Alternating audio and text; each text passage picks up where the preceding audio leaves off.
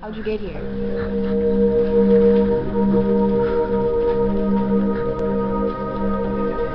I was old. What's it feel like to be a, um, a prostitute in the sex trade of India? Mm, I actually prefer um professional escort. Where do you live? A hut in the mountains. Uh, who brought you here? My uncle's husband. Um, who is he? I can't say.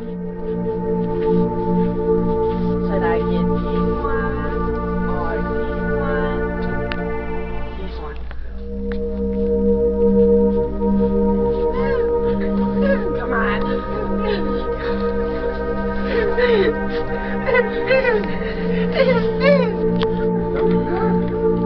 Hey, get back here.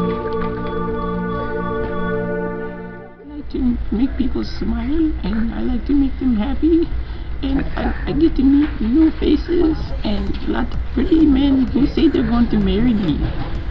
So, are you saying they're gonna come back for you one day? Yes, I oh. hope so. Are you a prostitute? Y- No, Are you sure? yes, So you're doing this by choice? yes, Nobody forced you into it? no, Are you sure? I'm positive. me all night long. I've been everywhere,